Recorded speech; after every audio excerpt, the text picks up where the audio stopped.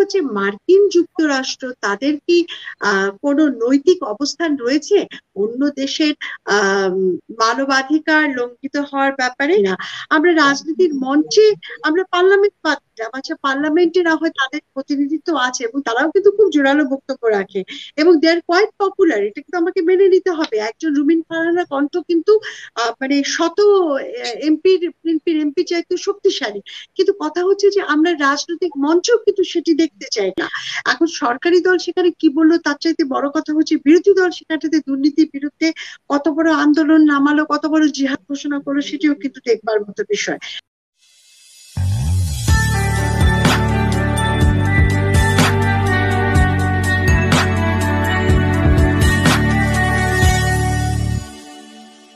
সরকারকেই দায়ী করছে অনেকেই যে শক্তিশালী বিরোধী দল নেই এই কারণে। আপনি কি মনে করেন?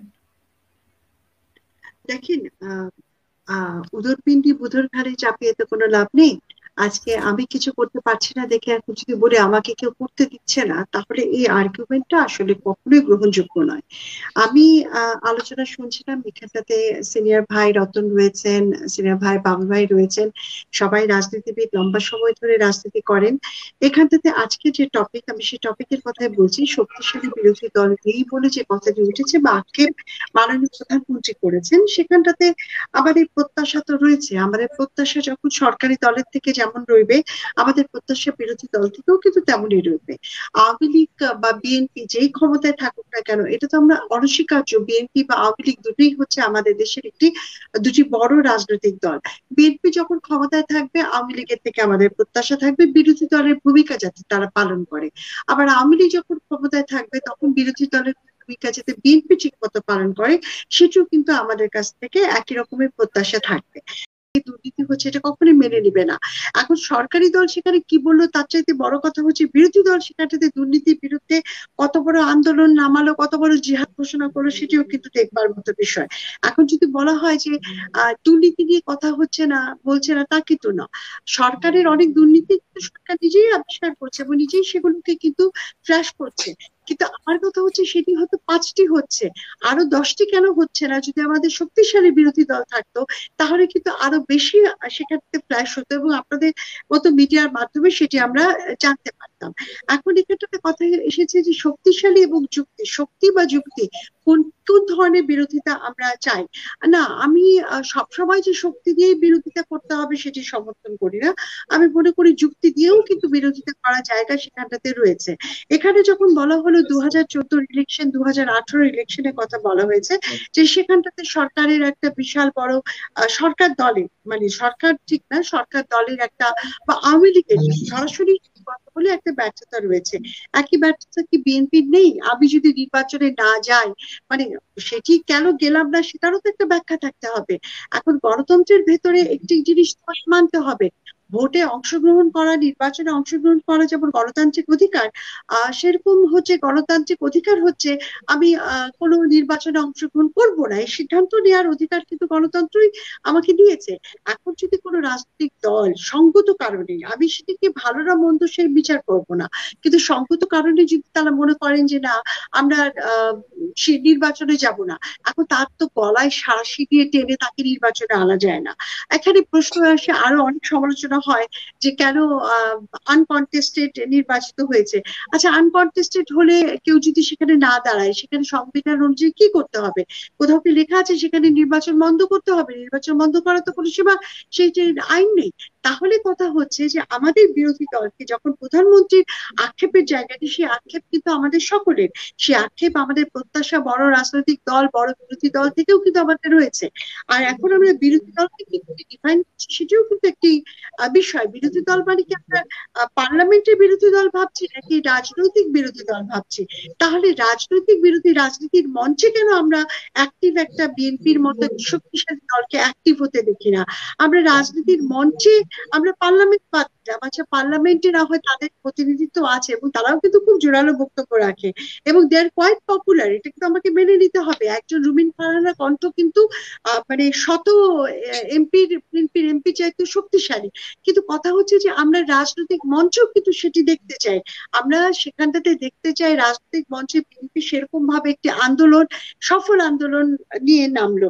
আমরা কিন্তু প্রায় শুনি বিরোধী দল বলতে বিএনপি বলেন যে আমাদের সাথে দেশের জনগণ আমাদের সাথে। আমাদের সাথে পনেরো মানে সতেরো কোটি লোকই আমাদের সাথে। তাহলে সতেরো কোটি লোক দিয়ে পুলিশের আর বিজেপির উপর নির্ভর করা সরকারকে মোকাবেলা করা কি এত বেশি ডিফিকাল্ট প্রশ্নটা কিন্তু সেখানটাতে কিন্তু এই ড্রাইভার কিন্তু আমাদের যে বিরোধী দল, সেটি এড়াতে পারে না। আমি রতন ভাইয়ের কথার সাথে একমত, আমি বাবুল ভাইয়ের কথার সাথে একমত।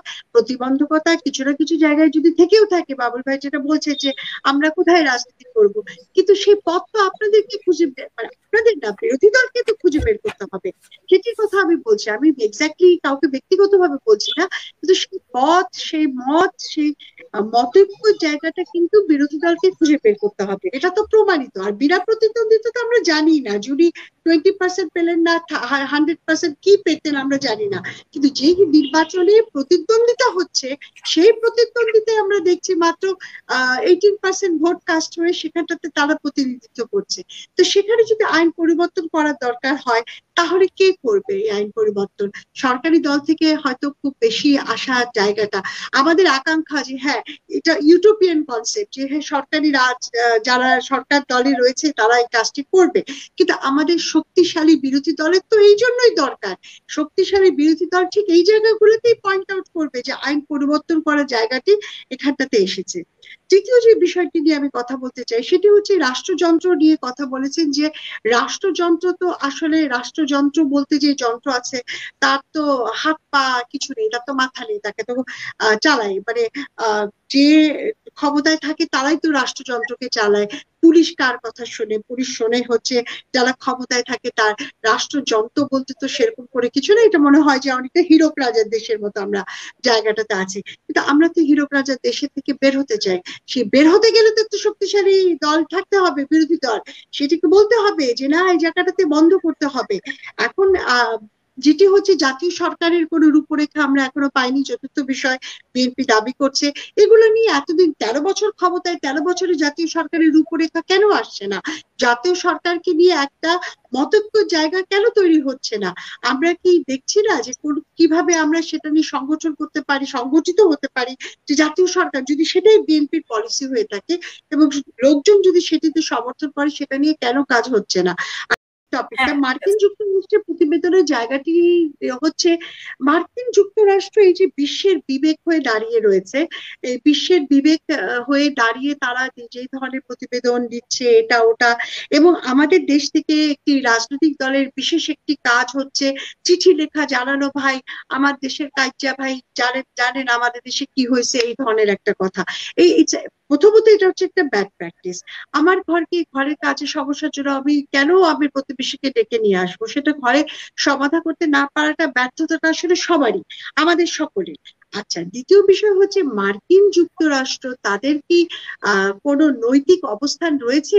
অন্য দেশের মানবাধিকার লঙ্ঘিত হওয়ার ব্যাপারে তারা যে সমস্ত দেশে তাদের সশস্ত্র বাহিনীকে পাঠায়, সেখানটাতে তারা চুক্তিবদ্ধ হয় এই কথা বলে যে আমার দেশের পুলিশ আর্মি, তোমার দেশে যে যদি কোনো গণহত্যা করে, কোনো মানবাধিকার মানবতা বিরোধী অপরাধ করে বা কোনো যুদ্ধ অপরাধ করে, তো তার বিচার তোমরাও করবে না?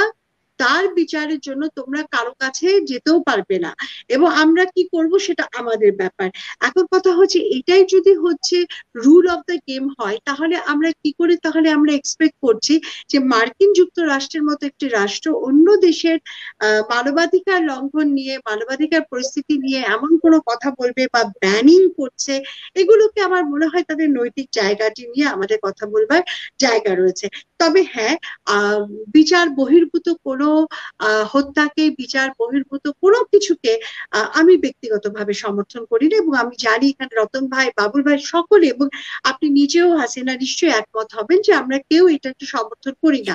কোনো সভ্য সমাজে এটা সমর্থন করা যায় না।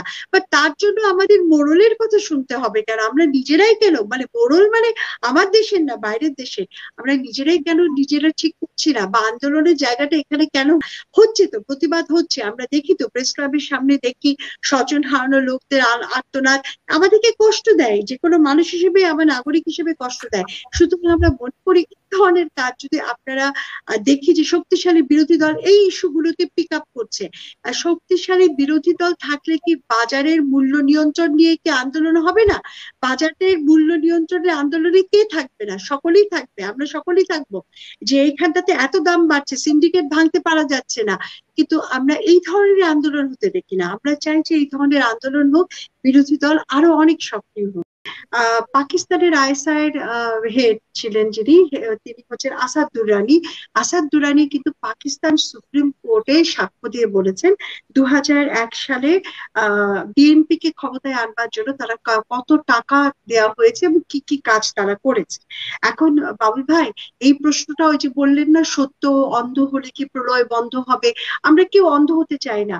এক্সাম্পল যদি আমরা দেখি, তাহলে হচ্ছে দুদিকেই এক্সাম্পল আপনি যখন দেখাবেন বা প্রলয় মুখার্জির তো বইয়ের কথা আপনি বলছেন, আর আমি কিন্তু রেফার করছি একেবারে সাক্ষ্য আন্ডার ওথ সাক্ষ্য দিচ্ছে সুপ্রিম কোর্টে এবং এটা কিন্তু আমাদের প্রকাশিত কোনো খবর না লন্ডন থেকে প্রকাশিত পত্রিকা এটা প্রথম প্রকাশিত হয়েছে, আর হচ্ছে সৌদি গ্যাজেটে প্রকাশিত এই এই রেফারেন্সটা আমি দিচ্ছি। আসাদ দুরানি সাহেবের এটা ওয়েব সার্চ দিলেও তার স্টেটমেন্টটা আছে, আসে, সেখানটাতে আছে। এখন কথা হলো এই ধরনের যে বিদেশি রাষ্ট্রের সাথে সক্ষতা এবং তাদেরকে নিয়ে চলবার একটা যে আমাদের যদি কালচার থেকে থাকে, এটা আসলে আমাদের পরিহার করা উচিত। আমি আপনার সাথে একমত, কিন্তু এক্সাম্পল একদিকে দিতে হবে না এক্সাম্পল দুই দিকে দিতে হবে। আর বললেন দুদকের কথা বললেন, কিছুই কাজ করছে না, সব দুদক হয়ে গেছে মানে একেবারে কিছুই করছে টচ্ছে না। আমরা তো দেখি বিআইটি সবাইকে ধরে ফেলছি এখন বিআইটি পর্যন্ত আটকে টাটকে ফেলছে। আমরা কি এগুলো দেখছি না? দুদককে, দুদক কত বড় সাহসের কাজ করেছে, দেখেন তো যে আমাদের পিআই সাহেব ঢুকাই ফেললেন, ভিতরে সে কত টাকা পাচার করেছে? এগুলো তো হয়েছে। এগুলো, এগুলোর কাজ যে হচ্ছে না ইনস্টিটিউশনগুলো গ্রো করতে সময় লাগে। লম্বা সময় ধরে তো আমরা ইনস্টিটিউশন গুলোকে গ্রো করতেই দেয়নি